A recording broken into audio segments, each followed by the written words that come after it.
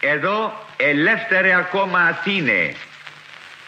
Έλληνες, οι Γερμανοί εισβολείς ευρίσκονται εις τα πρόθυρα των Αθηνών. Αδέλφια, κρατήστε καλά μέσα στην ψυχή σας το πνεύμα του μετόπου. Ο εισβολεύς εισέρχεται με όλα στας προφυλάξεις εις την έρημον πόλην με τα κατάκλειστα σπίτια.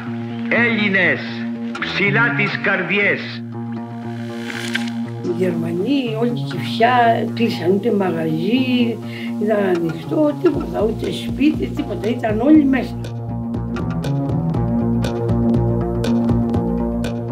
Και οι Γερμανοί πέρασαν από την πλατεία εκεί απάνω, που είναι τα λεωφορεία, ερχόντουσαν από την Ερυθρέα, από πάνω βέβαια.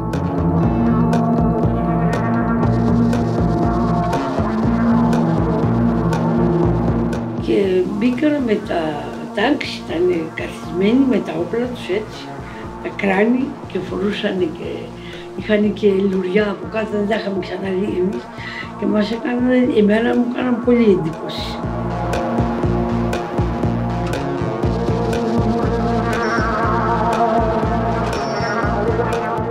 Και κατεβήκαν στους αμπελοκήπους και εκεί παρέδωσαν την Αθήνα.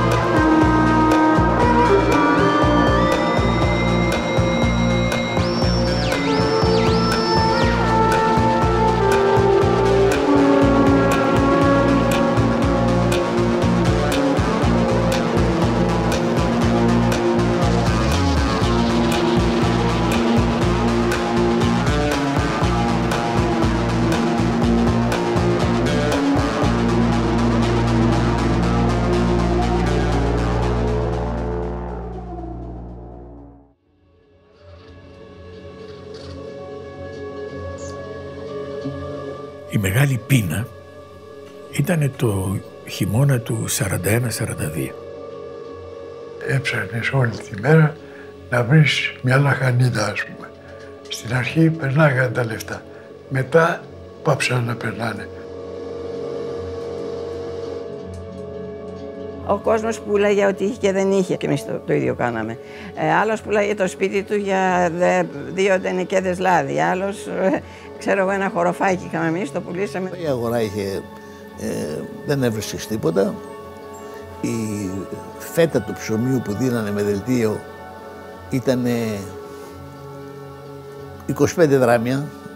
25 δράμια. Η φέτα του ψωμίου που μπορούσε να αγοράσει κανείς από τους φούρνους ήταν 25 δράμια.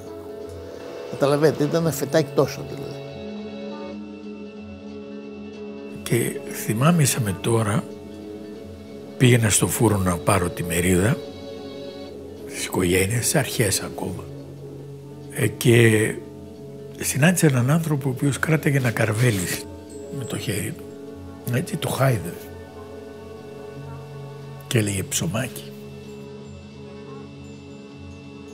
έβγαινες από το σπίτι σου το πρωί και θα βρίσκες τουλάχιστον 4-5 πτώματα στο δρόμο. Και δεν σου έκανε πια και εντύπωση.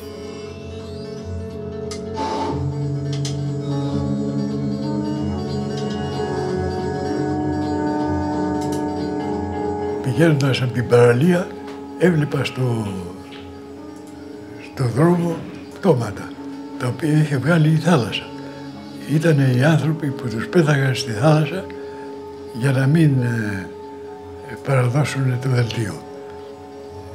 Τέτοια, τέτοια πράγματα. Είχε γίνει πλέον καθημερινή, καθημερινό θέαμα Όταν η πείνα είχε αρχίσει πια να θεριεύει, είχε δώσει το κόμμα εντολή και φυσικά και η ΕΠΟΝ επίσης ότι είναι άγος να πεθάνει κανείς από πείνα χωρίς να αγωνιστεί να σωθεί από την πείνα.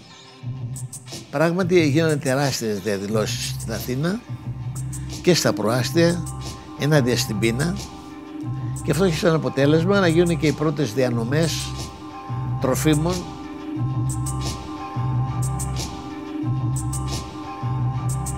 Θα σας πω ένα παράδειγμα του σχολείου που ήταν η μάνα μου τα σκάλα, του πρώτου δημοτικού σχολείου Κηφισιάς. Ε, είχα πάει απάνω σε αυτό το σχολείο, μόνος μου, ε, φώναξα όλα τα παιδιά. Λοιπόν, σας προτείνω να κάνουμε μια διαδήλωση και να πάμε στον Ερθρό Σταυρό εδώ στη, στο κέντρο της Κηφισιάς για να ζητήσουμε τρόφιμα, παπούτσια και ό,τι, και ό,τι άλλο και ρούχα ώστε να καλύψουμε και τη γύμνια μας και την υπόδησή μας και το στομάχι μας. Πράγματι όλα τα παιδιά, όλο το δημοτικό σχολείο, όλη η πιτσικαρία μαζεύτηκε σε αυτή την πορεία. Μας κόψανε μια φορά το συσίτιο και κατεβάσαμε τα παιδιά με τα ντέινα Τότε δεν πιάτα δεν είχαμε, κάτι ήταν και δένια κατσαρολάκια. Τα κατεβάσαμε τα παιδιά στην Ομόνια, κάτω στο, στη Δημαρχία γύρω-γύρω και να τα γυρί, να, να πολυβολούν οι Έλληνοι χωροφύλακες. Βέβαια δεν ήρθαν στο ψαχνό, στο ψαχνό γιατί θα είχαμε ε, θύματα και τρέχανε τα παιδιά γύρω γύρω. Όλο, όλα τα δημοτικά της περιοχής οργανωμένα να κατεβαίνουν και να βλέπεις στο τέρμα Παγκρατιού 500 παιδιά και να, μαχητικά να φωνάζουν Πίναμε, πίναμε, πίναμε. Θέλω να πω αντιδράσαμε. Ο κόσμος, ε, ο κόσμος αντιδρούσε. Ο κόσμος δεν φοβότανε, ο κόσμος ε, έβγαινε στους δρόμους. Η πίεση από τα κάτω έφτανε και μέχρι την ηγεσία. Το αποτέλεσμα ήταν ότι εμείς πετύχαμε σε αυτή την προσπάθειά μας. Άρχισε να μοιράζει αυτά τα πράγματα που κρατούσε ο Σταυρός Η Εθνική Αλληλεγγύη ήταν μια οργάνωση που είχε, υπήρχε σε κάθε συνοικία ένα τμήμα από ε, κατοίκους της περιοχής. Έκανε εράνους, μάζευε και χρήματα και ε, τρόφιμα. Ενίσχυε οικογένειες που είχαν κάποιον ε, φυλακισμένο ή κάποιον εκτελεσμένο.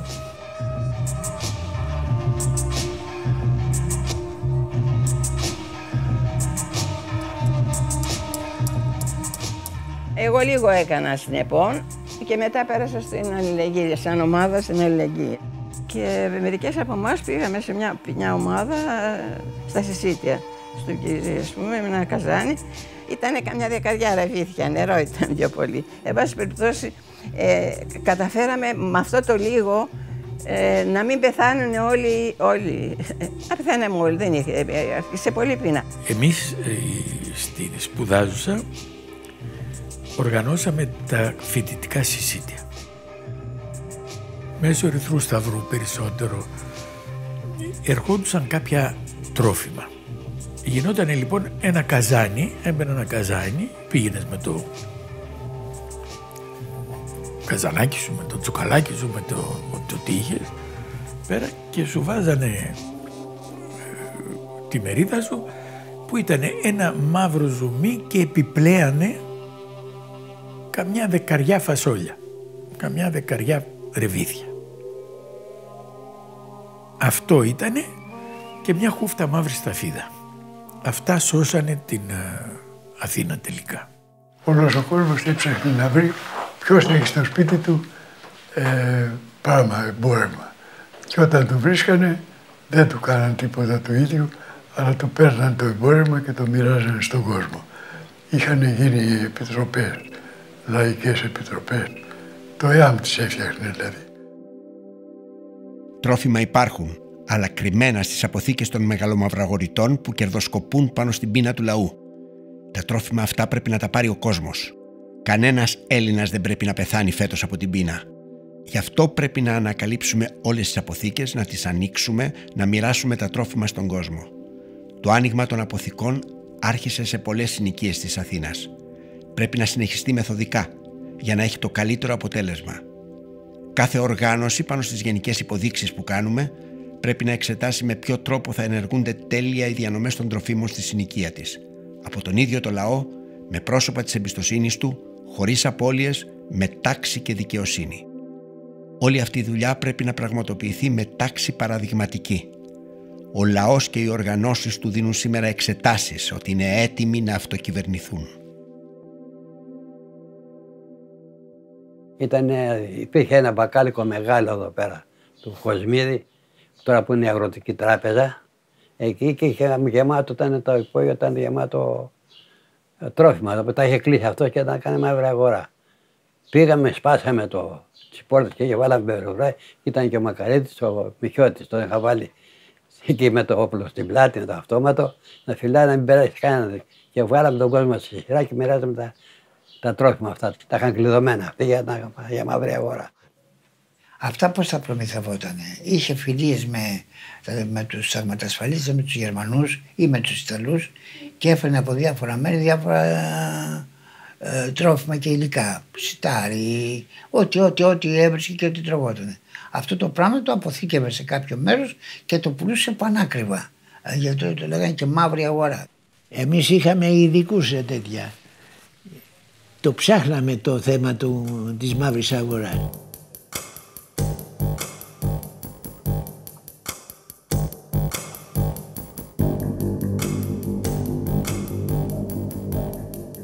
Στο Παχατουρίδι του φούρνου, που είναι ο φούρνος του Παχατουρίδη, παρα, απέναντί του ήταν μια αποθήκη και είχε δυο χιλιάδες αλεύρι κρυμμένο μαυραγορίτης.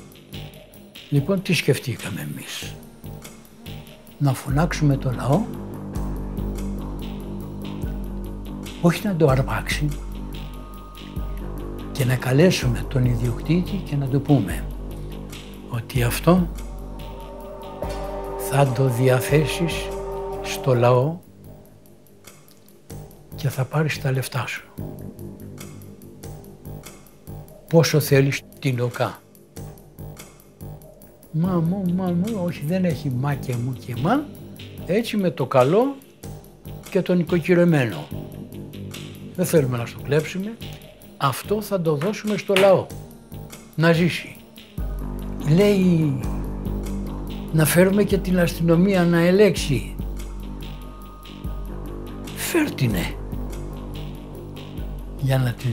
Η αστυνομία ήρθε τι να την ελέξει. Ήρθε ο κόσμος και μοιράσαμε όλο το αλεύρι στην πείνα. Σταματημένος στην Εκφαντίδου, στο Παγκράτη, ένα φορτηγό Έρχεται ένας αλταδόρος και μας λέει έχει τσουβάλια μέσα. Τι τσουβάλια ρε, δεν ξέρω λέει. Πάμε, τι να δούμε, καλαμπόκι και στάρι. Τσουβάλια ολόκληρα μαυραγορίτικο. Έβαλα φουρές από παντού γύρω γύρω. Μία επιτροπή διανομής σκίζουμε την τέντα, ανοίγουμε και ειδοποιούμε ότι ελάτε να πάρετε τρόφιμα. Ουρά από την Εκφαντίδου μέχρι το να πάνω. Το αδειάσαμε όλο το, το φορτηγό. Δεν φάνηκε ο Μαυραγορίτης κανένας, τίποτα. Πάω σπίτι μου. Πού σε ρε, μου λέει η μάνα μου. Εδώ μοιράζουν τρόφιμα και δεν πήγαινε να πάρεις καθόλου. Πού να ξέρει η μάνα μου ότι τα μοίραζα εγώ. Δεν είχα πάρει ούτε σακούλα. Το θεώρησα ότι είναι ντροπή επειδή τα μοίραζα.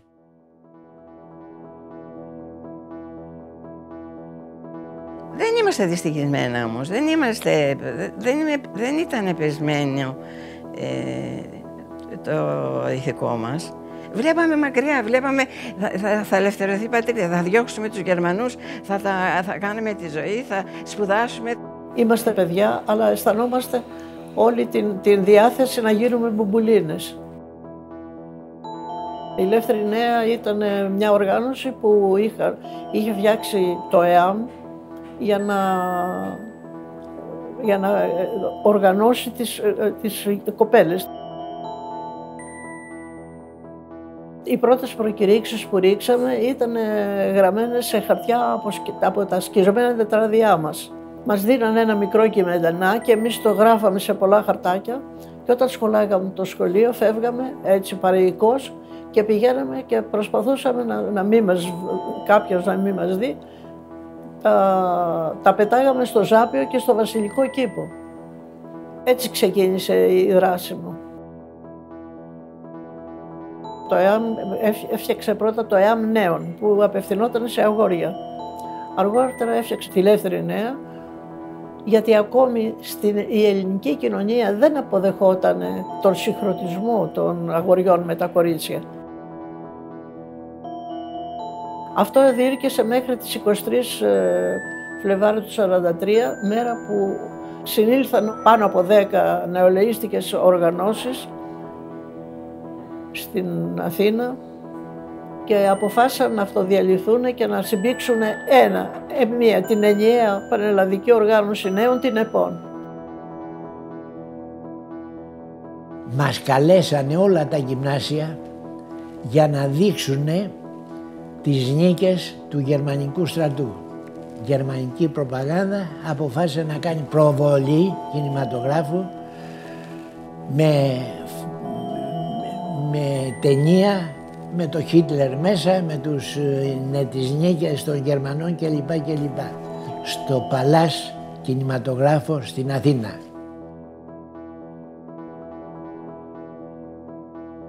Εάν νη τότε όλη τη νύχτα γράφαμε προκηρύξεις αντιστασιακές όλοι οι, οι οργανωμένοι, οι τριάδες κλπ. Και όταν μας πήγανε στο κινηματογράφο όλοι είχαμε στις τσέπες προκηρύξεις. Όχι το γυμνάσιο Παγκρατιού μόνο και άλλα γυμνάσια από άλλες περιοχές. Μπαίνουμε λοιπόν στο Παλάς, οι, οι Γερμανοί της Γεστάπο μετά εδώ πέρα κάτι είχαν αγγελωτούς σταυρούς, εδώ πέρα αυτά, τρομοκρατία, πολύ φοβερή. Μόλις σβήσανε τα φώτα, μόλις βγήκε ο Χίτλερ, ουα, από κάτω, πετάμε τις προκηρύξεις από, από πάνω, γεμίζει το παλάς προκηρύξεις. Σβήνουνε, ανάβουνε τα φώτα, έρχονται οι καθηγητές μας, θα μας πάρετε στο λαιμό σας. Τι είναι αυτά που κάνατε, δεν τρεπόσαστε. Εμείς να τραπούμε ή εσείς που μας φέρατε. Γκεστάπο πλάκωσε, τα αυτόματα πλακώσανε και λογαριάζανε να μας εκτελέσουν όλους. Ή, κάπως το πήραμε είδηση κι εμείς, αλλά δεν εγκολώναμε με τίποτα. Ή αυτοί οι γυμνασιάρχες είχαν, οι καθηγητές είχαν χεστεί. Γιατί θα τους σκότωναν κι αυτούς ως υπεύθυνο. Και τελικά αποφασίζανε να αναβάλουν την αυτήν και μα διώχνουνε νικητές εμείς τραγουδώντας, πηγαίνοντας και αυτό γυρίσαμε στο γυμνάσιο. Οργανώθηκα στην Απόλλων και είχε ο Διγιαννίτης, είχε τον πολύγραφο και πέρανε προκηρύξεις, άρχισα να βγαίνουμε τη νύχτα έξω, γράφαμε στους τοίχους, στους δρόμους. Άμα δεν είχες πόλεμο, είχες γράψει μου στίχους, είχες τέτοιες ιστορίες. Δεν βγαίναμε μόνοι του ο καθένας, βγαίναμε ομάδα. Πέντε παιδιά, όχι και πολλά, πέντε-πέντε σε διάφορα. Και έλεγες εσύ, αυτή η ομάδα θα πάει στο, νεκρο, στο νεκροταφείο, στα Λόνια. Και θα γράψουμε γράμματα. Έγραφες ό,τι σ' άρεσε. Έγραφες κάτι που είχε δοθεί από την οργάνωση που ήταν επίκαιρος δηλαδή εκείνη τη ημέρα. Ο ένας από τους πέντε έγραφε. Οι άλλοι κοιτάζαν μήπως μπει κανένας χωροφύλακας, μη μπει κανένα. Τους καφιέδε τους ξέραμε όλους. Δεν υπήρχε περίπτωση. Πριν από δύο ώρες πηγαίναμε καθόμαστε γύρω γύρω με, με παιδιά άλλα. Εκείνοι που θα γράφανε θα ήταν άλλοι και εκείνοι που, θα, που ήταν γύρω γύρω να φυλάγουν. Φυ- Κάναν τσίλες. Και είτε περιφρουρούσαμε τους ε, επονίτες που γράφανε, είτε γράφαμε εμείς οι ίδιοι ή περιφρουρούμαστε ταυτόχρονα.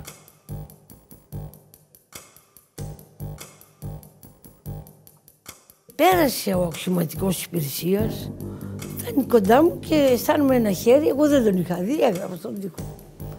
Και αισθάνομαι ένα χέρι και με πιάνει από τον νόμο και με γυρίζει. Τι κάνεις εδώ, μου λέει. Εγώ εκείνη την ώρα αυθόρμηνα σηκώνω το κουβαδάκι με την πογιά και το κουμπανάω στο κεφάλι. Ήμουνα λιγάκι θρασής, να πούμε. δεν- Και αυτός τα χάσε, καταλαβαίνεις πώς θα έγινε. Εγώ έτρεξα, ήξερα τα στενά εκεί, τα σοκάκια όλα και σηκώθηκα πήγα σπίτι. Και μου λέει η μάνα μου, μου, μου είπανε, με ειδοποίησαν από την οργάνωση πρέπει να φύγεις γιατί θα κάνουν συλλήψεις απόψε. Και πήγα περίπου εκεί που έγραφα, είναι ένας φούρνος και απέναντι πήγα στη μαθήτριά μου. Και ήρθαν οι χωροφύλακες, κάναν έρευνα. Μπαίναν στα σπίτια και ψάχνανε. Εμάς μας ξέρανε, εκεί φυσιωτάκι ότι είμαστε. Τι κάνετε εδώ, διαβάζουμε, είπε η συμμαθήτριά μου. Την ώρα που βγαίναμε, δεν θα με πιάνανε, ερχόταν η αδερφή μου, η οποία πήρε τη σάκα μου, που μέσα είχα ένα αρχείο από προκηρύξεις και ένα πιστόλι, έτσι μικρό, και το έφερε να το βάλει στο πηγάδι που είχε κουβαδάκια. Βάζαμε εκεί πράγματα και τα κατεβάζαμε χαμηλά και εκείνη την ώρα ήταν απ' έξω οι χωροφύλακες και την πιάσανε. Και λέει μην την αφήνετε, εδώ είναι η αδερφή της.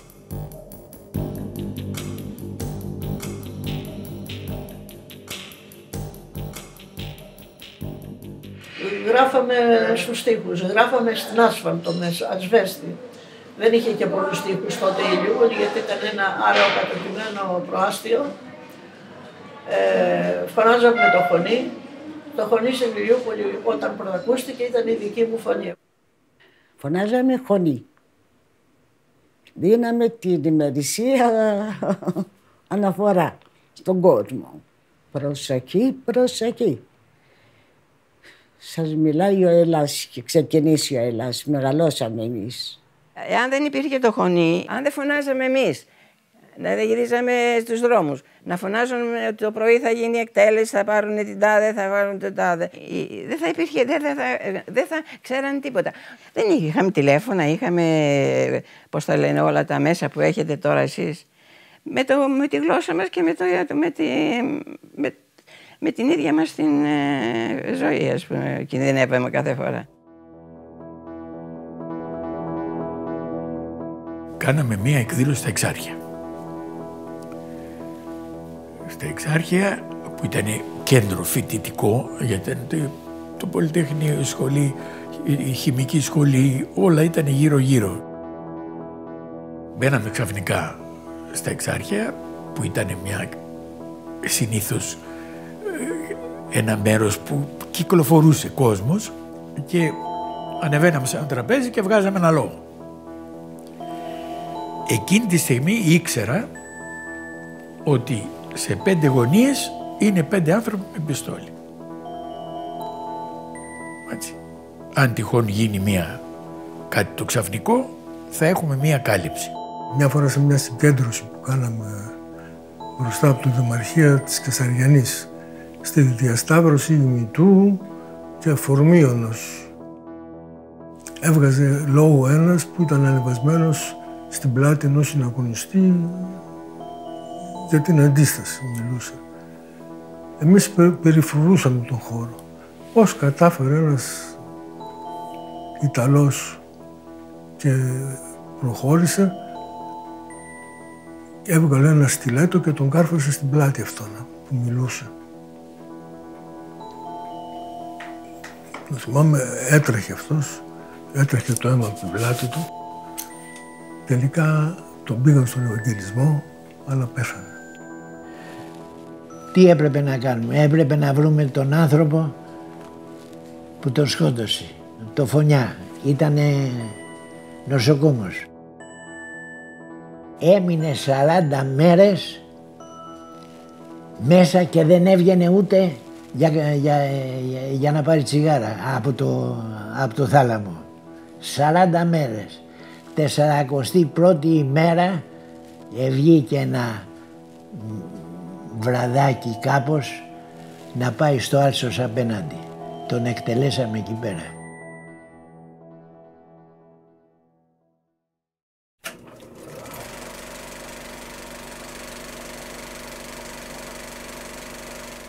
Η πορεία της Αθήνας ήταν ένα μεγαλείο που μένει στην ιστορία. Δηλαδή δεν έχει ξαναγίνει. Παρόλο την, την τρομοκρατία, παρόλο τη φοβία, παρόλα όλα αυτά, οι μεγάλες συγκεντρώσεις. 300.000 κόσμος. Βελόνα να πέταγες, δεν έπεφτε κάτω. Είχαμε τα καροτσάκια τα, τα νοσοκομιακά. Είχαμε καροτσάκια όποιος τραυματιζόταν γιατί οι διαδηλώσει δεν ήταν εύκολο να είσαι. Πέφτανε ρηπές, πέφτανε πιστολιές, σκοτώναν οι Γερμανοί.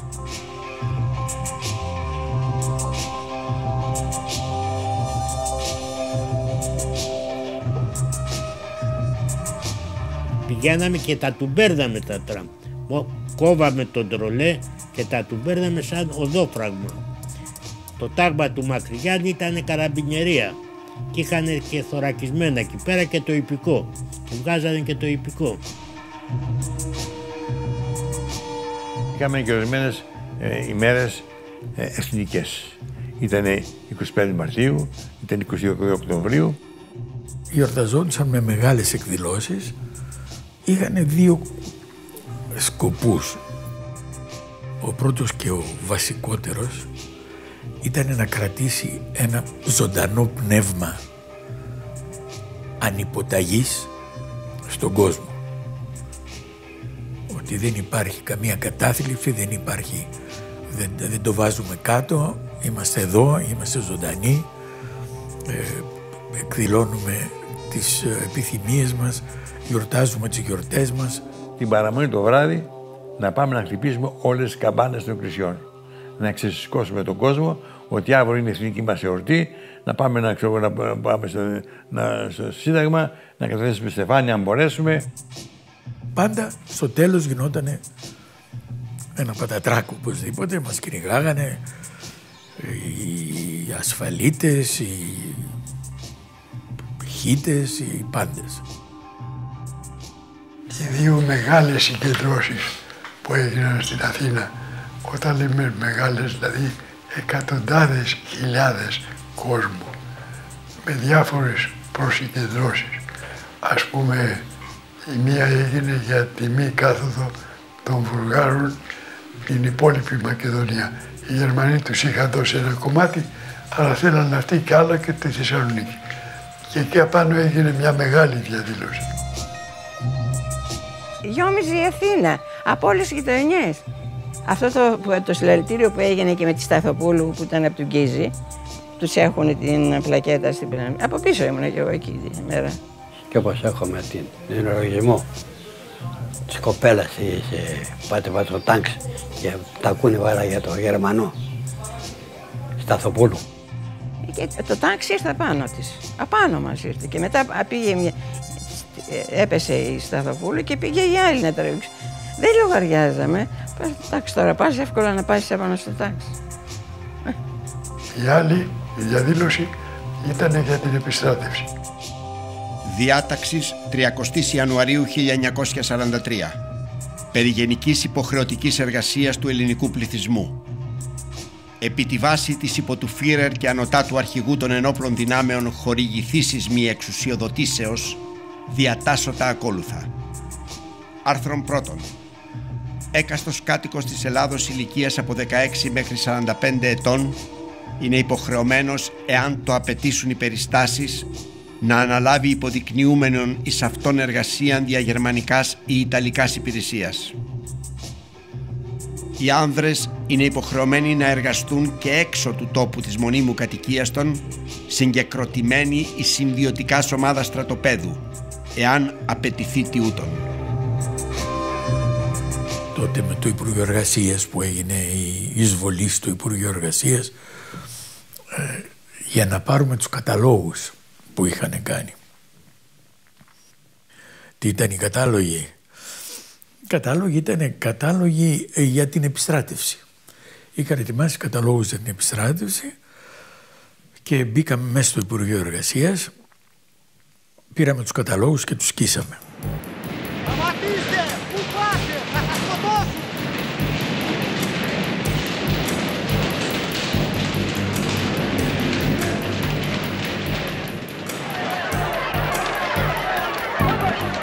Και μια, ένα κομμάτι της διαδήλωσης πήγαμε στο, στο Υπουργείο Εργασίας. Ήταν από την Πατησίων απέναντι. Και μπήκαμε μέσα, τα, τα κάψαμε, τα πετάξαμε όλα. Και τη στήσαμε μια μέρα μια παγίδα και τον καθαρίσαμε έξω από το Υπουργείο, τον Υπουργό της Εργασίας, το Καλύβα. Α, ήσασταν κι εσείς στην επιχείρηση. Ναι, μαζί. Γιατί πηγαίναμε ειδική αποστολή.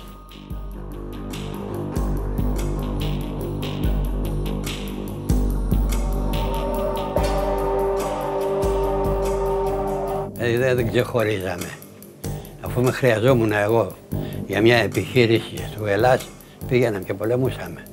Ή ξέρω εγώ πάμε για μια, ειδικά για μια αποστολή για τον ΑΒ λόγο, για τον τάδε χαφιέ και λοιπό εκεί στο τάδε σπίτι, ε, πήγαμε εμείς. Η πολιτοφυλακή, η οπλά με λίγα λόγια.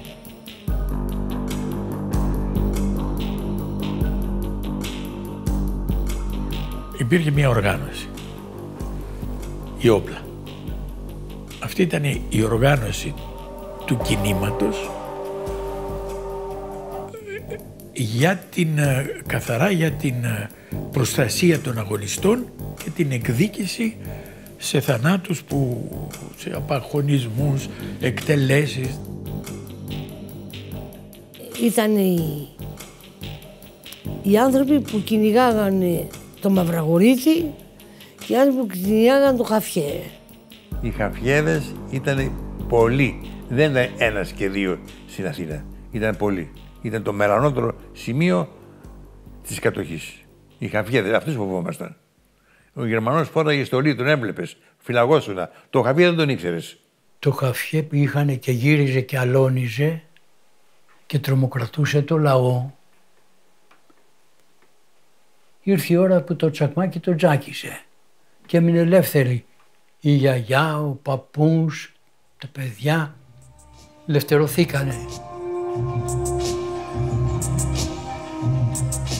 Οι ταγματασφαλίτες ήταν, θα έλεγα, το πιο ευτελές κομμάτι αυτών που πολέμησαν την Εθνική Αντίσταση, το πιο ευτελές.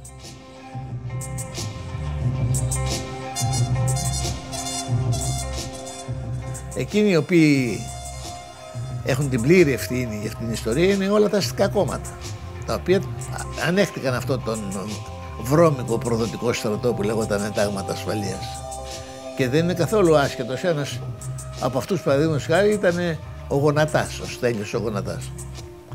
Αυτός λοιπόν όταν πήγε ο Χατζής, ο Θανάσης ο Χατζής, ο δικός μας, το στέλεχος του ΕΑΜ, να του ζητήσει να συμβάλλει στην ίδρυση ενός ενιαίου εθνικά απελευθερωτικού μετόπου για να διώξουμε τους Γερμανούς από την Ελλάδα, να διώξουμε τους κατακτές από την Ελλάδα, θα, παρουσία δύο ανώτερων αξιωματικών συνταγματαρχών του στρατού τον απείλησαν το Χατζή ότι αν εσείς αποφασίσετε να κάνετε απελευθερωτικό στρατό μέσα στην Αθήνα εμείς θα δημιουργήσουμε σώμα στρατιωτικό να σας διαλύσουμε.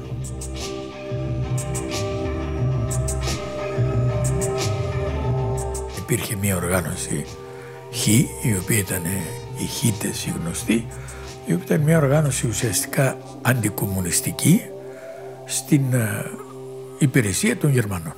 Και υπήρχε και η εσωτερική ασφάλεια, δηλαδή η οργανωμένη κρατική ασφάλεια, η οποία συνεργαζόταν άριστα με τους Χίτες Ο Παγιώργης ήταν τέσσερα αδέρφια. Ο μεγάλος, τέσσερα αδέρφια και δυο κοπέλες. Ξεκίνησαν σαν μια ομάδα εθνική, ας πούμε, εθνικής αντίστασης και αυτή.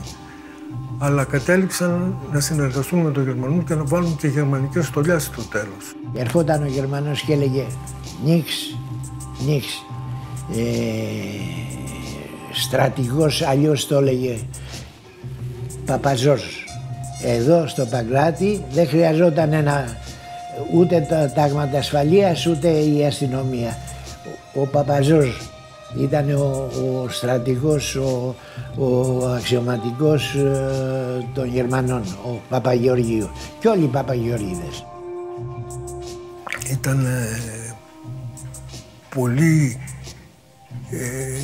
άγριοι. Να σκεφτείτε ότι στο υπόγειο παίρνανε όποιους πιάνανε από μας, τους βασανίζανε. Είχε υπόγειο. Εκεί είχαν εγκαταστήσει το ανακριτικό γραφείο.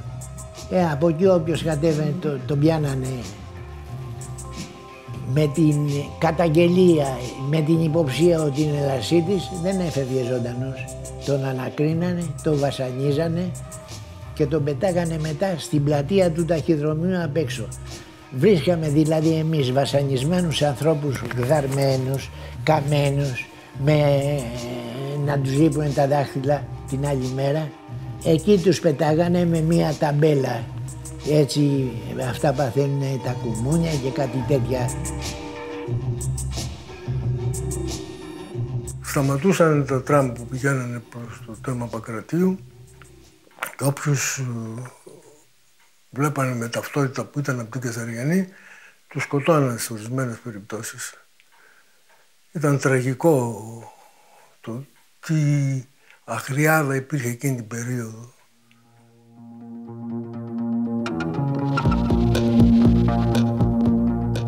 Προσπαθούσαμε να τους εξοντώσουμε γιατί ήταν πληγή για την περιοχή εδώ. Τον έναν τον χτυπήσαμε στο κουρίο που είχε πάει. Τον άλλον ε, είχαμε μια φράξια μέσα στην ε, ομάδα του Παπαγεωργίου και μας ειδοποίησε ότι θα τον πάρει τηλέφωνο και θα κατέβει στο,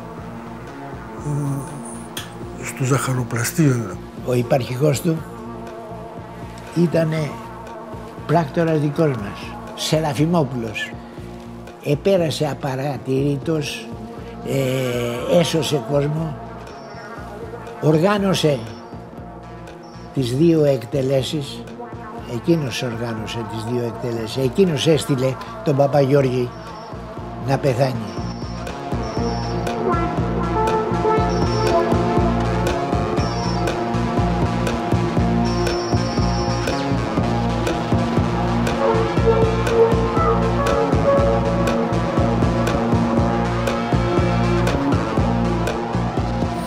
Ήμουνα στο κόμμα πλέον, ήμουνα στο κόμμα και είχαμε διάφορες άλλες αποστολές.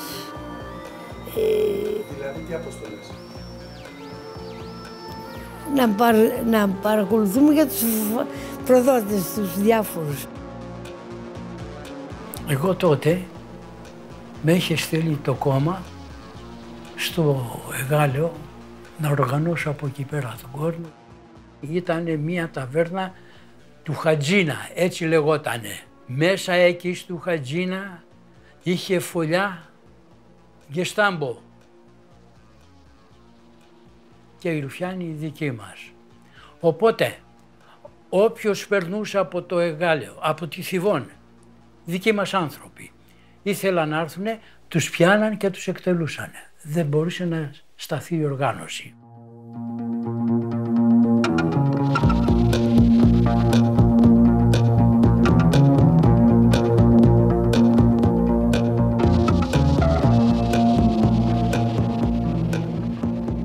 Λοιπόν, είχα το κομμάτι της όπλας. Πού είναι αυτή; Στο Χατζίνα. Α, ωραία. Είχαμε έναν ε, σύντροφο πολύ καλό, το Φραγκόπουλο, το Κορέα, που ήταν και φράξια στα SS. τον παίρνουμε. Φραγκόπουλε, πρέπει να μας βγάζει έναν έναν έξω από την ταβέρνα για να μην τους σκοτώνουμε μέσα στην ταβέρνα, έξω στα σκαλοπάτια. Πώς θα κάνουμε ρε Νίκολε, τι, τι πώς θα κάνεις; Κουβέντα έχεις, συζητάτε, βρες έναν τρόπο, πάμε έξω να περπατήσουμε, να κάνουμε βόλτα. Και αρχίσαμε και βάλαμε χέρι στην ομάδα αυτή.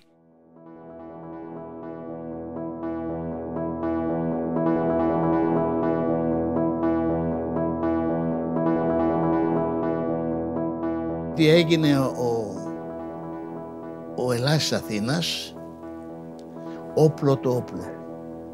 Δεν είχε κανε, καμία ε, πώς το, ε, βιομηχανία παραγωγής για να έρχονται τα όπλα. Όπλο το όπλο. Όλα τα όπλα της Αθήνας μαζεμένα δεν κάνανε, δεν φτάναν ούτε για ένα λόγο να εξοπλίσεις κανονικά. Και μάλιστα όταν ε, παραδόθηκε η Ιταλία, από τους Ιταλούς πήραμε πολλά όπλα. Μας δίνανε μια αποστολή, ο Ηλάς, θα πάτε στη... Τα έχουν αλλάξει τα ονόματα, τότε το λέγανε Μαγκουφάνα, τέλος πάντων που ήταν Ιταλοί. Και για να πάρω το όπλα, πήγαμε στο στρατόπεδο που ήταν Ιταλοί και είχαμε σύνδεσμο με τους Ιταλούς. Τους μένει Ιταλούς τους πήρε ένα ένοπλο τμήμα του Ελλάς και τους οδήγησε για το βουνό και τους άλλους και οι άλλοι μας δώσαν τα όπλα. Το Δρουγκούτι είχε γύρω στους χίλιους Ιταλούς ήρθανε και τους έφερε ο κόσμος, τους απόπλησε και τους άλλους στείλανε στο βουνό γιατί εμείς πηγαίναμε στα ξύλα στον ημιτό και έχει το, ο ημιτός έχει δυο σπηλιές πάνω από το αεροδρόμιο και τους φυλάγανε εκεί και από εκεί τους περνάγανε στο κοροπή και από το κοροπή πηγαίνανε στο βουνό. Ήταν δύο αδέρφια, ο Λουίτζης, ο Σπινέλης και ο Αλμπέρτο Σπινέλης, οι οποίοι ήταν κομμουνιστές και οι δύο. Και ήρθαν εδώ πέρα και με βρήκανε και τους φίλεξα εγώ και τους πήρα και πήγαν στο βουνό. Και από εκεί, από τα πέρα, τους πήγαν στην Ιταλία. Λιποτακτήσανε κάτι Αυστριακοί και πήραμε εμείς ένα στο σπίτι. Ήτανε μουσικός. Είχε δύο παιδάκια στην Αυστρία, τον φιλοξενήσαμε και ήρθε διαταγή να φύγει το παλικάρι να μην τον πιάσουνε. Και λέει ο μπαμπάς, εσύ είσαι παλικάρι που είσαι. Πάρε τον Κώστα, του αλλάξαμε το όνομα. Πήρα τον Κώστα το χέρι, βάλω τα κεράκια στις τσέπες. Ανεβήκαμε από το γήπεδο, έστριψα έτσι και αναβήκαμε από το στενό, ε, τέρμα στο βουνό. Θα χτυπήσεις την πόρτα τρεις φορές και θα περιμένεις. Χτυπήσαμε, ανοίξανε, πήραν το βαλκάνι, με αγκάλιασε, με φίλησε. Παιδί μου, λέει. Ο Ζαμάνος είχε μια αποστολή να φέρει από το βουνό τη δεύτερη μεραρχία να κουβαλήσει με καρότσια και από πάνω ξύλα, σαν να κουβαλάει ξύλα, οπλισμό. Για να ενισχυθεί και να οπλιστεί ο Ελλάς της Αθήνας. Χότανε το, το κάρο, τα βάζαμε απάνω, τις πιο πολλές φορές ήμουνα μόνος, κάποτε πήρα και τον Γιώργο το Φιλίγκο μαζί μου ε, και τα, τα φέρναμε. Ανά τρεις ημέρες γινόταν ξεφόρτωμα και το παραλάβαινε η, η όπλα και τα μοίραζε. Υπολογίζω γύρω στα 700 στέν να ήρθανε με αυτόν τον τρόπο.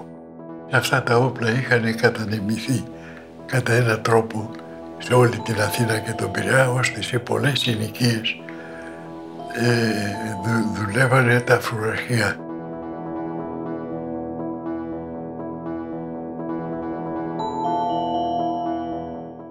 φουραρχείο αποτελείταν μια περίπολος, περίπολος ήταν. Και φέρναμε γύρω όλο το συνοικισμό, κάθε φουραρχείο είχε ένα ορισμένο τομέα. Χίλια μέτρα, 1500 μέτρα ήμασταν υπεύθυνοι. Ελέγχαμε όλη την περιοχή. Εντολές τέτοιες που ήταν πολύ αυστηρές και συνωμοτικές για να μην μας μπλοκάρουν. Δηλαδή, είχαμε σε ένα μέρος, σε ένα στέκι, 6, 8, 10, 12 άτομα. Και μέναμε εκεί. Είχαμε τον οπλισμό μας και όταν ήταν κάτι να συμβεί, ας πούμε, κάτι να μαθαίναμε ότι ερχόντουσαν οι τσολιάδες αυτό, μαζευόμασταν όλοι μαζί και, και κοιτάγαμε να τους αποθήσουμε. Ήρθανε δύο-τρεις φορές, δεν μπορούσαν να μπουν μέσα. Τους χτυπήσαμε και στον Άγιο Αντώνη τους χτυπήσαμε και στον Ορφέα τους χτυπήσαμε. Με αυτές τις δυνάμεις τις λίγες που είχαμε. Τα καταφέραμε. Ο Παναγιωτόπουλος ήταν η μορφή του φασισμού στον Κολονό και δηλώνει. Στο συνταγματάρχη το Γερμανό, μου διαφεύγει τώρα το όνομα, μέχρι μωρά θα σφάξω που θα μπω μέσα και κάνει την αρχή να μπει από τον Κολονό. Τα στρατεύματα ξεκινήσανε από το λόφο των αξιωματικών. Αυτός ήθελε να μας κάνει περισπασμό να, για να την πατήσουμε αλλά εμείς την πήραμε χαμπάρι και κάναμε ενέδρα στη γέφυρα της Κολοκυθούς. Μόλις έφτασε ο Παναγιωτόπουλος με την ομάδα του, πακετήσαν τη γέφυρα να μπουν μέσα, τους πετάμε δυο χειροβομβίδες. Από κάτω ερχόταν ένα τμήμα δικό τους και σηκώνει σημαίες να πάρει τους νεκρούς. Και είπαν περάστε να πάρετε τους νεκρούς. Και αρχίσαν και μας χτυπήσανε από το λόφο των αξιωματικών. Ό,τι στρατεύματα είχαμε τα ρίξαμε μέσα. Και κάθε τόσο, ορισμένες ώρες, ε, μπαίνανε στη σειρά με όπλα στους ώμους και γύριζαν μέσα στη συλλικία. Έτσι για να βλέπει ο κόσμος να αναθαρεί. Να σκέφτεσαι ότι βγαίναμε και τραγουδούσαμε αντάρτικα τραγουδία το βράδυ. Και εμψυχώναμε τον κόσμο. Δεν τον αφήναμε ανέπαφο. Να περιμένει πέσε πίτα να σε φάω. Δηλαδή δημιουργήσαμε τέτοιο κλίμα ενθαρρυντικό και πολλές φορές κάναμε και παρέλαση 15-20 ελασίτες και το μπρος Ελλάδα για την Ελλάδα και για την ελευθερία φωνάζαμε. Ε, όλα αυτά τα πραγματάκια και ο κόσμος και ειδικά το προσωπικό κόσμος μας αγκάλιασε. Σαν φρουρό τον είχε τον Ελλάς και ήξερε ότι εχθρός δεν, δεν μπαίνει στη συνοικία. Μπαίνει ένα αυτοκίνητο να κάνει πλιάτσικο. Να κάνει πλιάτσικο στον Αγιαντώνη. Έχει οικονομήσει απαλού και έχει μπει μέσα για να κάνει το πλιάτσικο του. Εκείνη την ώρα πετυχαίνει να κατηφορισμεί κατά κάτω. Και τα παιδιά μας, εκεί μια ομάδα, σου πολεμάνε με αυτούς με το αυτοκίνητο να τα καταφέρανε, παίρνουμε μέρος κι εμείς, εντάξει. Ήταν μέσα οι κλέφτες, τα είχαν οικονομήσει κλπ. Τι γίνεται, τους μαγκώνουμε, τους παίρνουμε, παίρνουμε και το λεωφορείο, το αυτοκίνητο, τσαπ, και το πάμε για την Πετρούπολη και αποκτήσαμε και αυτοκίνητο. Ήταν Δεκέμβρης του 1943. Είχαμε βγει να κάνουμε ενημέρωση του κόσμου γράφοντας και σκορπώντας προκηρύξεις. Ξαφνικά εκεί πέρα ακούσαμε ότι έρχονται ένα τάγμα τσολιάδες ανεβαίνει πάνω, ακούγαμε πυροβολισμούς και είπαμε να αποσυρθούμε. Μαζέψαμε όλους που ήμασταν, μια ομάδα, καμιά δεκαριά ήμασταν και ήμουν υπεύθυνος του οπλισμού. Και λέω έπρεπε να τα μαζέψω τα όπλα. Μαζευτήκαμε πύρου και δαμάριο γωνία και τη στιγμή που μάζευα εγώ τα όπλα, νύχτα τώρα, ψηλόβρεχη κιόλας, παρουσιάζεται ένας Γερμανός αξιωματικός. Έρχεται, λέει, βασίστε λόγους.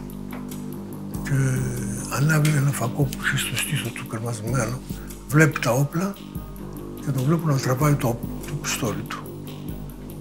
Κατά σύμπτωση εγώ κρατούσα ένα 45 ιταλικό όπλο και γυρνάω πάνω στο φακό και πυροβολώ. Έμεινε ο Γερμανός.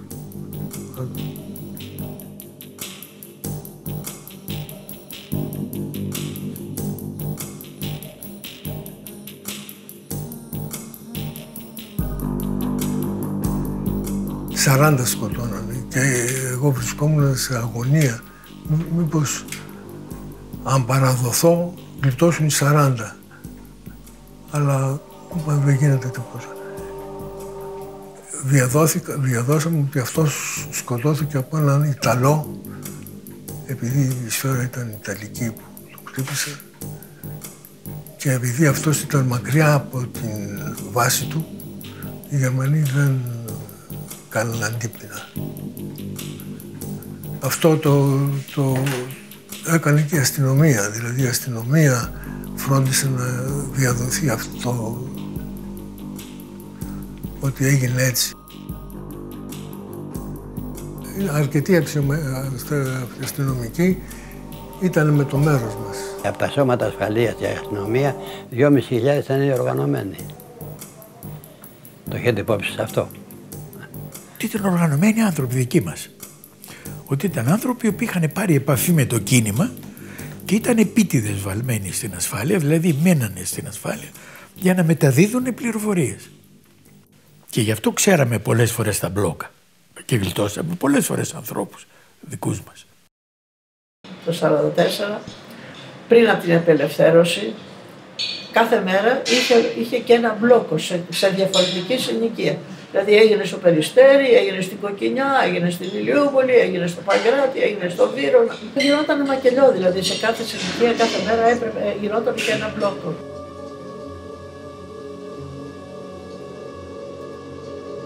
Οι νεχνητορύχοι είχαν ζητήσει να πάρουν άψεις και να τους δοθεί και μέρισμα σε, σε συσίτιο και κάνει μια απεργία. Η απεργία αυτή κράτησε γύρω στις τρει-τέσσερι μέρες και κάτι Οι Γερμανοί θυμώσανε. Και στείλανε λοιπόν τότε ένα κομβόι αυτοκίνητα φορτηγά με τσολιάδες, με αυτούς και ταγματασφαλίτες μαζί με, με λίγους Γερμανούς, όχι πολλούς Γερμανούς, λίγους Γερμανούς να έρθουν να κάνουν τον μπλόκο. Κατεβάσαν τους στρατιώτες τους αυτούς τους τσολιάδες οι οποίοι σκορπιστήκαν γύρω γύρω και μπλοκάραν την καλογράζα γύρω γύρω. Πηγαίνανε από τη νύχτα και ζώνανε τη συνοικία, δεν μπορούσε και να ξεφύγεις. Και κάνανε έρευνα στα σπίτια και άμα βρίσκανε άντρα κρυμμένον, το σκοτώνουν επί τόπου. Εκτελούσαν για να κλέψουν. Ο, ο πρώτος αυτός ήταν το πιάτσικο.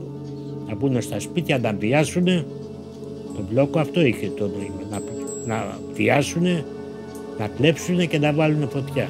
Δηλαδή μες στα σπίτια δεν σκοτώναν οι Γερμανοί, σκοτώνανε οι Έλληνες, οι προδότες, οι φασίστες. Έγινε ένα μπλοκ απέναντι από το σπίτι μας. Εκεί ήταν ήρθαν οι, οι Γερμανοί με τις τσολιάδες και είχαν έρθει και δύο ή τρεις μασκοφόροι. Όπως ήταν παραταγμένοι όλοι οι, Γερμανοί, οι Έλληνες, ο κόσμος δηλαδή, οι άνδρες, πέταγαν ένας Γερμανός κομματικός και ένα-δυο μασκοφόροι, έδειχναν έναν. Έναν, τον βάζανε χωριά. Βγάλανε 18, τους οποίους τους στήσανε στον τοίχο και τους εκτελέσαν αμέσως μπροστά στον κόσμο.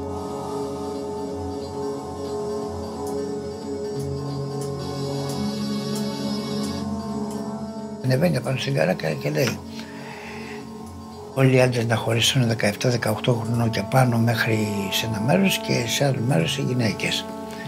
Και ήρθε που λες ο προδότης με την κουκούλα και πέρναγε μέσα από τα παιδιά και έδειχνε. Τον άρπαγαν και ο Εάς, τον πήγαν στην άκρη. Τον άρπαγαν, έδειχνε τον Εάν και όλοι ήταν μέλη του Κομμουνιστικού Κόμματος. Να τους. Αυτοί είναι όλοι.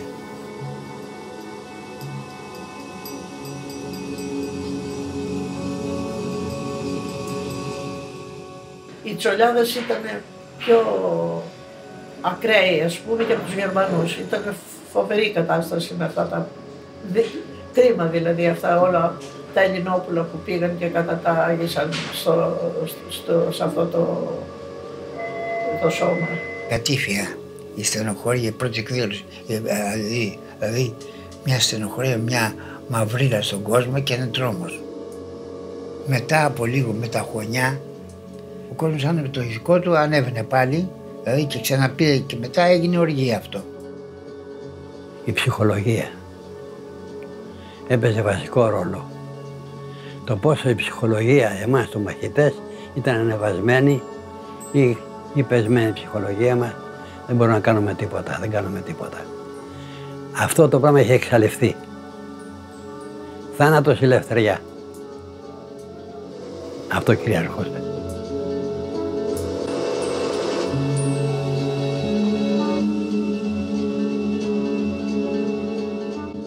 Κόσμος να ανοίξει την πόρτα του να σε κρύψει την ώρα που γινόντουσαν μάχες. Άνοιγε την πόρτα του. Θυσίαζε τον εαυτό του. Είναι μεγάλη δουλειά αυτή. Δεν ήταν μονάχα ότι πολέμαγες. Είχες και πλάτες. Είχες και πλάτες. Όταν πήγαμε στο Γαϊδάρι που πήγαμε άντρες και γυναίκες, ήμασταν 126. Όσοι πηγαίναν στο Γαϊδάρι πηγαίναν για να εκτελέσουν. Γύρω γύρω ήταν σκοποί με τα πολυβόλα. Όταν πήραν τους 200 μάλιστα την Πρωτομαγιά, τότε είχε τα πολυβόλα προς τα μέσα και προς τα έξω. Φοβόντουσαν να μην γίνει κανένα ντούνα από τους αντάρτες. Από τους ε, αντάρτες της πόλης, να πούμε, του Ελλάς.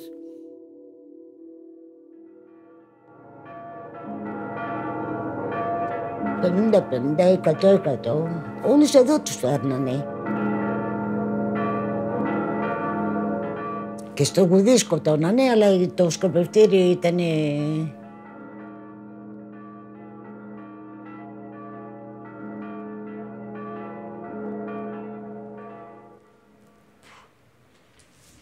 Όταν σκοτώσαν τους 200,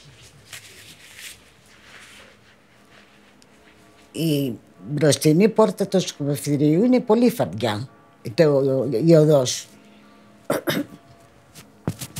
το αίμα, γιατί τους φορτώσαν σε καμιόνια, να- σε φορτηγά βουνό που έφταζε, έπλυνε στο δρόμο από τη μια μέχρι την κάτω, το αίμα. Πήγαμε και πετούσαμε γαρίφαλα, κόκκινα. Αγκαλιές, τα- άσε μωρέ. Ανοίξιγε που αγάπαγες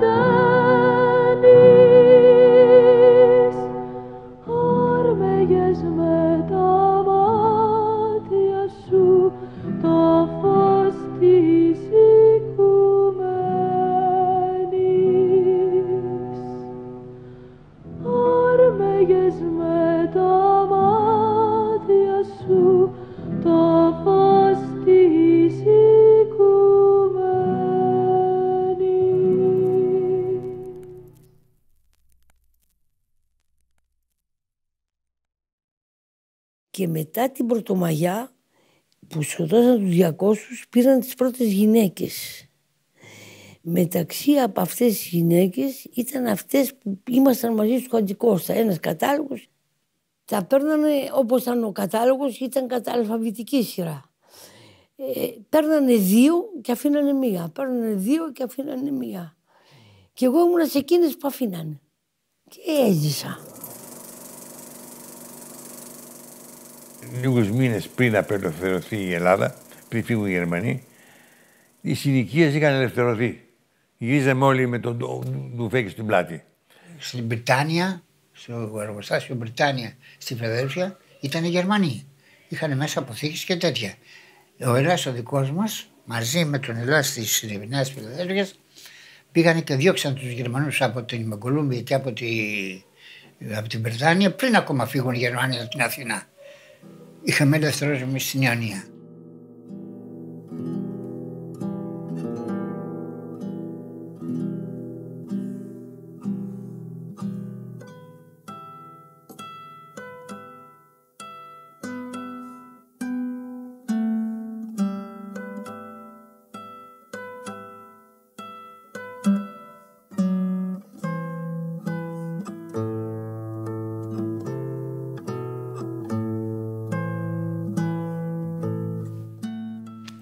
Φύγανε οι Γερμανοί, ήρθαν οι σύμμαχοι και από εκεί που όλοι πιστεύαμε ότι θα γίνει αυτό που γίνεται λογικά. Ότι οι άνθρωποι που κάνανε αυτή την εποποιία, ότι οι άνθρωποι που αντισταθήκανε στην, στους Γερμανούς, στην κατοχή, θα τιμηθούν, θα είναι οι άνθρωποι οι οποίοι θα καθορίσουν και το μέλλον, το μέλλον της χώρας. Με αυτό το χωνί αναγγείλαμε στα αλόνια της Κηφισιάς και εγώ το ανήγγειλα με τη φωνή μου ότι από αυτή τη στιγμή οι Κηφισιώτες και οι είμαστε ελεύθεροι. Αύριο θα κατέβουμε στην Αθήνα να γιορτάσουμε την ελευθεριά μας. Προς συγκέντρωση την τάδε ώρα στο τάδε μέρος της Κηφισιάς.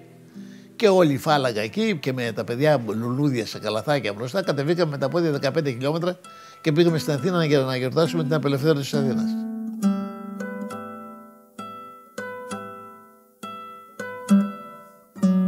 Και κατεβήκαμε κάτω στην απελευθέρωση που φύγαν οι Γερμανοί από την Αθήνα, μιλάμε, γιατί δεν είχαν φύγει από όλη την Ελλάδα.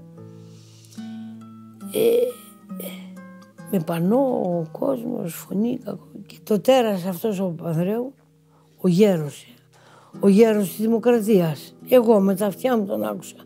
Λαοκρατία, λαοκρατία λαέ της Αθήνας.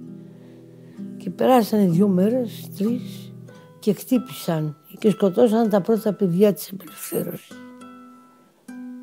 Τι να θυμάσαι άλλο. Τι να θυμάσαι άλλο. Ο κόσμος πανηγύριζε ότι φύγανε οι Γερμανοί και όχι μόνο φύγανε, ιτηθήκανε τα καλά ιτηθήκανε και, και αυτός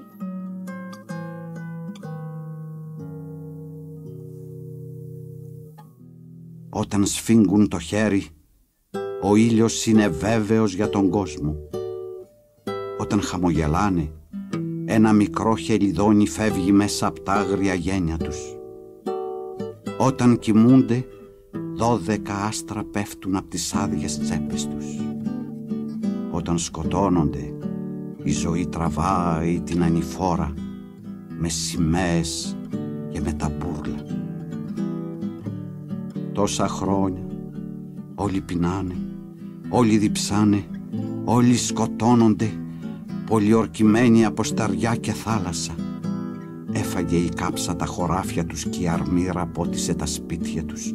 Ο αγέρας έριξε τις πόρτες τους και τις λίγες πασχαλιές της πλατείας από τις τρύπες του πανοφοριού τους μπαινοβγαίνει ο θάνατος. Άμα ζούσες εκείνη την εποχή καταλάβαινες ότι ήταν φοβερά δύσκολο να, να μην γίνουν τα Δεκεμβριανά. Ήταν σαν να σου παίρνανε ε, το παιδί από την αγκαλιά για να το σκοτώσουν σαν να έλεγες, σκοτώθηκε ένας λαός ολόκληρος, πάλεψε, έδωσε θύματα. Και έρχονται και σου λένε όχι, παρέδωσε τα όπλα, άλλο θα γίνει και άλλοι θα έρθουν.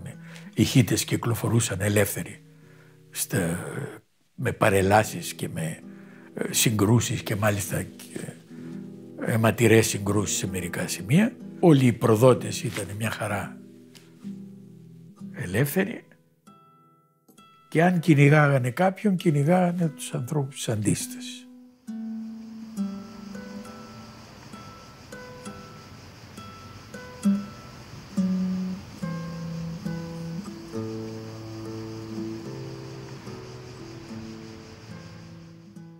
Ήταν ένα πρωτόγνωρο, βάρβαρο πράγμα.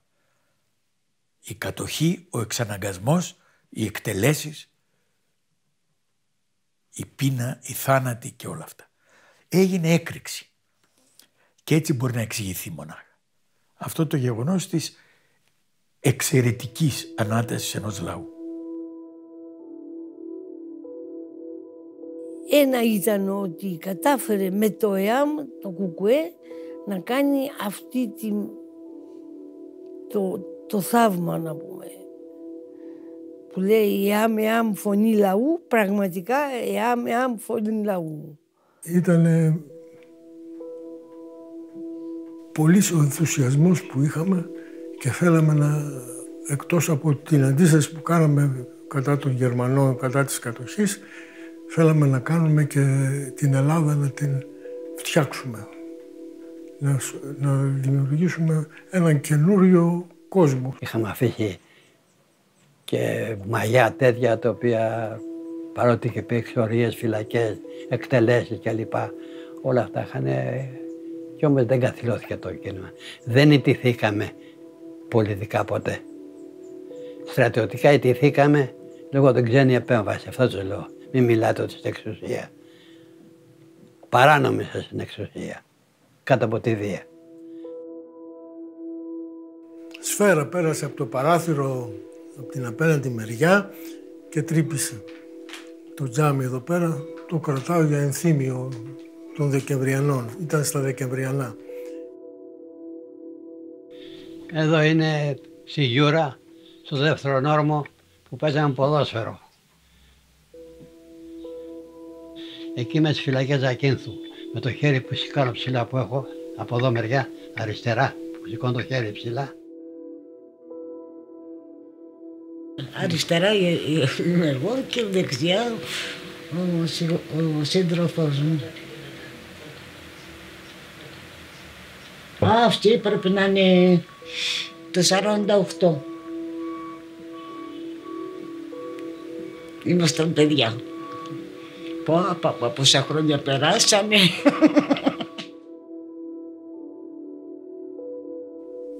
Τι να σου πω.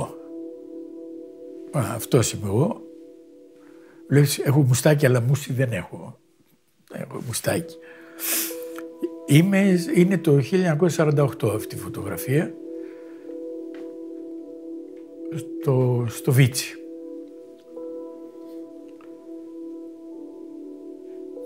Περασμένα. Τέλος πάντων.